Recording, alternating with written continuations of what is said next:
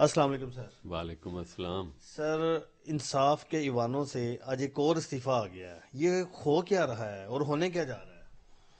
मेरा ख्याल है ये कोई उनका जाती फैसला है। इस पे कोई बज़ाहिर कोई ऐसी बात तो नहीं है कि कोई प्रेशर हो उन पे या कोई अदरवाइज़ बात हो। ये मुझे बिल्कुल उनका जाती फैसला लगता है। उसके पीछे मुहरकात क्या हैं ये मेरा ख्याल है जज साहब ही बता सकते हैं।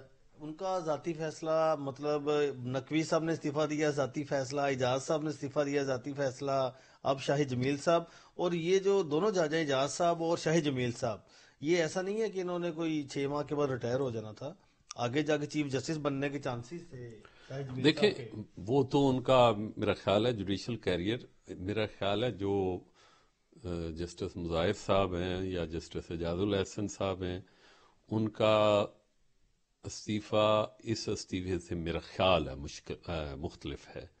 चूँकि रात डिनर था जनाब चीफ जस्टिस ऑफ़ पाकिस्तान का तो वहाँ भी कहाँ पर? इस्लामाबाद में।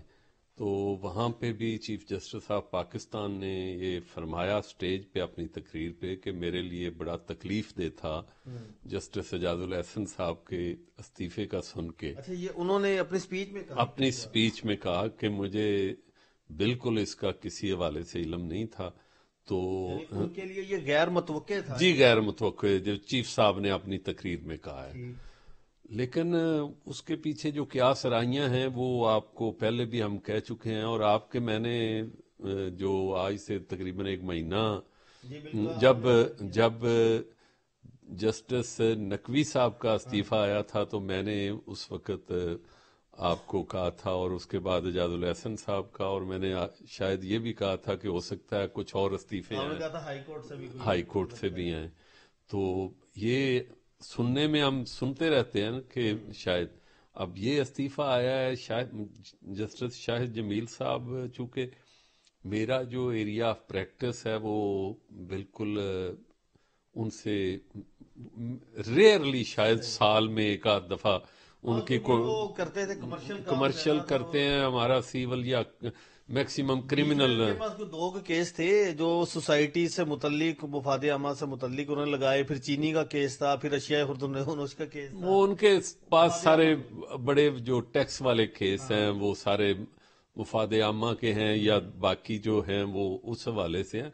लेकिन मैं समझता हूँ कि हमारे जज साहबान को पॉलिसी मेकिंग वाले फैसलों में बिल्कुल नहीं पढ़ना चाहिए बल्कि उनको जो लिटिगेशन पढ़े थे? नहीं ये जो आप बता रहे हैं जी, ये जो सोसाइटीज के हवाले से केस की आप बात कर रहे हैं या शुगर के हवाले से बात कर रहे हैं लेकिन हमारा मेरा मिनिमम उनके साथ इंटरेक्शन रहा है एज फar एज वकील के और चूँकि वो कमर्शियल काम करते थे टैक्स का काम करते थे हमारा वो एरिया ऑफ़ प्रैक्टिस नहीं है।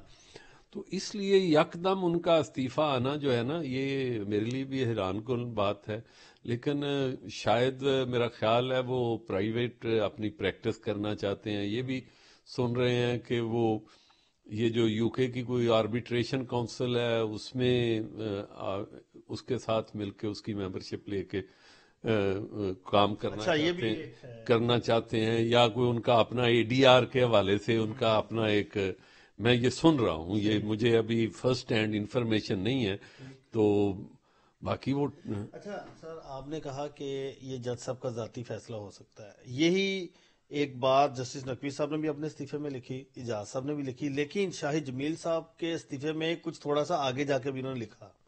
उन्होंने इलामा इलामा इकबाल साहब का एक शेर भी लिखा जिसका एक लाइन में अगर हम तशरी करें ना तो वो ये है कि मैं बतौर गुलाम जज काम नहीं कर सकता। देखें जज को किसी को गुलाम में वही मैं आप शेर मैंने भी देखा है। बात यह है कि कोई मतलब ये कि उन पर कोई हादसा प्रेशर था। जो शेर लिखा है तो उसका मतलब तो यही है। लेकिन मैं समझता हूँ कि दुनिया का कोई आदमी गुलाम नहीं है और ना वो गुलामी की ज़िंदगी गुजार सकता है अनलेस वो खुद इस चीज़ को ना चुने। और दूसरी मैं आपको बात करूँ ये बड़ा एक अजीब फिनोमिना है कि हम ये बात कह देते हैं कि जी हम गली- गुलामी की ज़िंदगी नहीं। बात यह है कि मैं समझता हूँ कि अगर मैंने कोई प्रेशर लेना है तो वो मेरी जाती सोच का तकाजा है।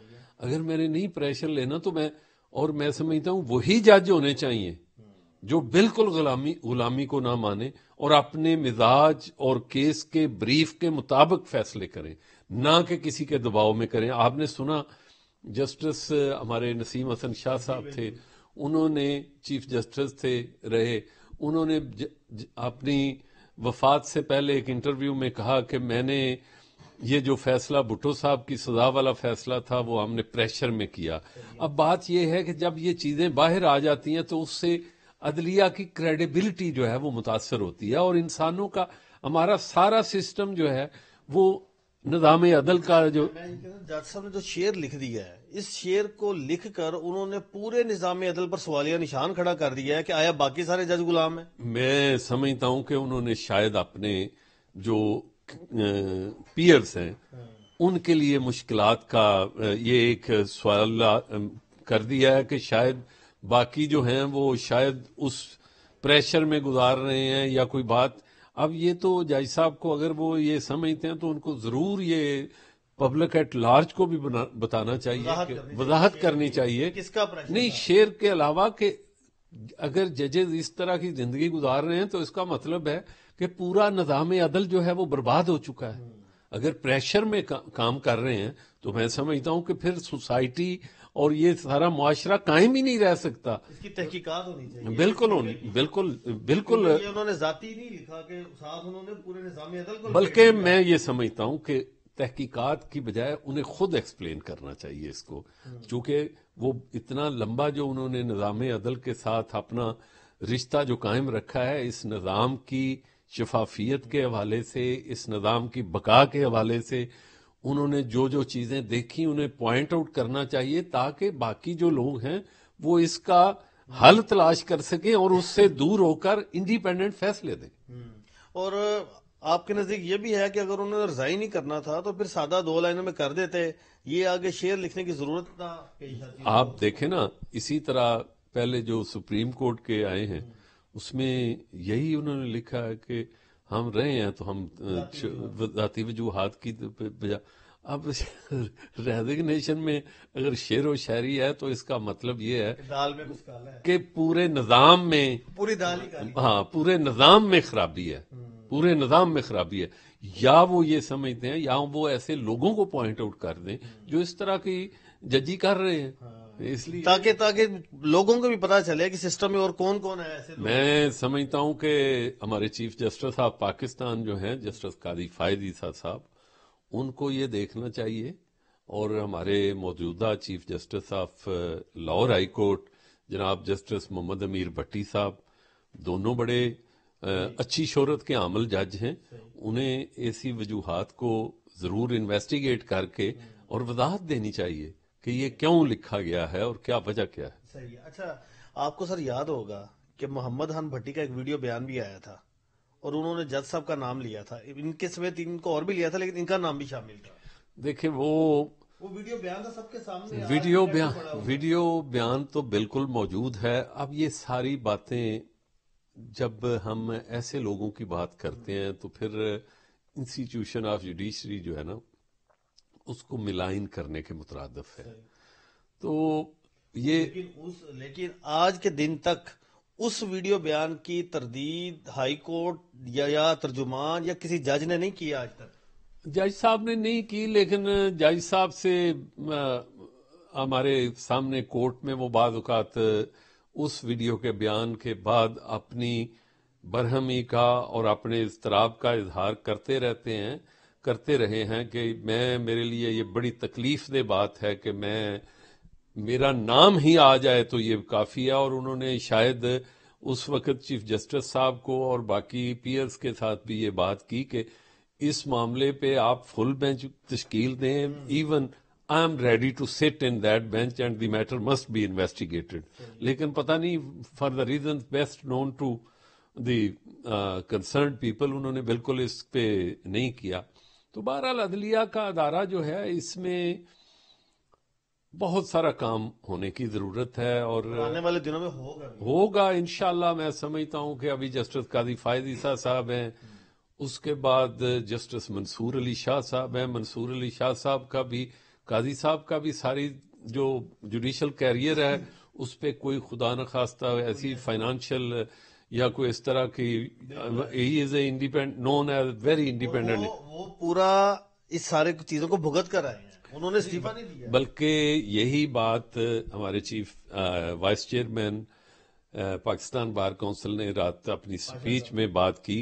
रियादत अली साहड साहब ने वाइस चेयरमैन उन्होंने कहा कि हमें ये खुशी की बात है कि हमारे चीफ जस्टिस साहब तमाम हवादस जमाना जो हैं उनको फेस करके मुंतके मजाज लोगों के सामने एहतसाब को फेस करके आए हैं और वो समझते हैं इसी तरह।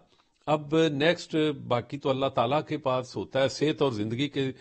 मंसूर अली शाह साहब हैं जस्टिस मंसूर। बहुत काम किया लाहौर हाई हाईकोर्ट आज भी उनके बनाए हुए मंसूबों पर काम हो रहा है। इसी तरह और दूसरा मैं समझता हूँ कि he is also known as a very impartial man independent जज और काबिलियत में भी कोई हम बसीयत एक वकील के समझते हैं कि उनकी काबिलियत में भी कोई कमी नहीं है और इन, वो ऑनेस्ट जज हैं और he will do whatever he can for the reformation of the institution और मंसूर अली शाह साहब जो हैं उनके पास अल्लाह सेहत और ज़िंदगी के साथ वक्त दे तो मेरा ख्याल है वो भी काफ़ी है। तीन साल का तीन साल से जायद अरसा जो है।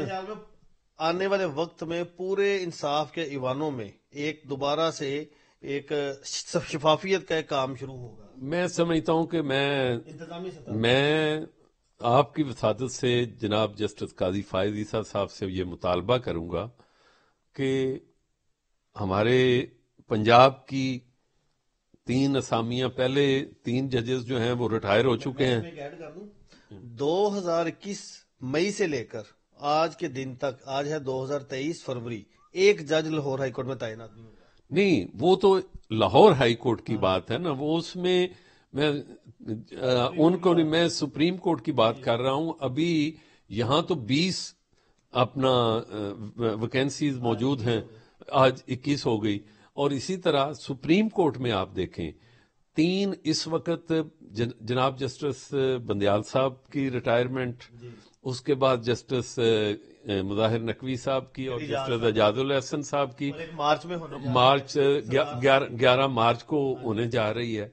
तो मैं समझता हूँ कि लाहौर से उन्हें जो लाहौर की एक रवायती तादाद है उसके मुताबिक ही लेना चाहिए। और फिलफौर अगर वो रूल फ्रेम कर लेंगे जुडिशल कमीशन के रूल जो हैं मुझे पता चला जो हमने पिछली मीटिंग में बात की और कल भी हमारी बात हुई इसी हवाले से तो वहाँ गैर रस्मी बात में ये था कि उन्होंने जस्टिस मंसूर अली शाह साहब की सरबराही में जो कमेटी थी उन्होंने बार के नुमाइंदों के साथ मिलके एक मुसवदा भेज दिया है। कर तैयार कर दिया है। और ये भी पता चला है कि उन्होंने पढ़ना भी शुरू कर दिया है जज साहब चीफ साहब ने तो वो एज अर्ली एज पॉसिबल मेरा ख्याल के बाद ही होगा मेरे ख्याल मेरा ख्याल है इसमें महीना लग जाएगा महीना लग जाएगा अच्छा जाएगा। अब जाते जाते एक बात आप मुझे बता दें पिछली बार भी आपने ये कहा था क्या इस्तीफों का सिलसिला रुक चुका है? नहीं मेरा नहीं है ख्याल अभी रुका है। अभी अभी और भी है। अभी मेरी जो छठी हिस्सा है वो उसके मुताबिक अभी ये सिलसिला जारी रहेगा। लाहौर से भी और इस्लामाबाद से भी सुप्रीम कोर्ट से? बहरहाल ये इस्लामाबाद हाई कोर्ट की भी बातें आ रही हैं। नहीं अभी शायद वो नहीं है। इस्लामाबाद हाई कोर्ट में भी छोटी मोटी लेकिन मेरा ख्याल है छोटी मोटी से क्या। नहीं नहीं वही बात है। अभी किसी बारे के हवाले से सर्टेनिटी से नहीं कह सकते लेकिन और भी सुप्रीम कोर्ट है।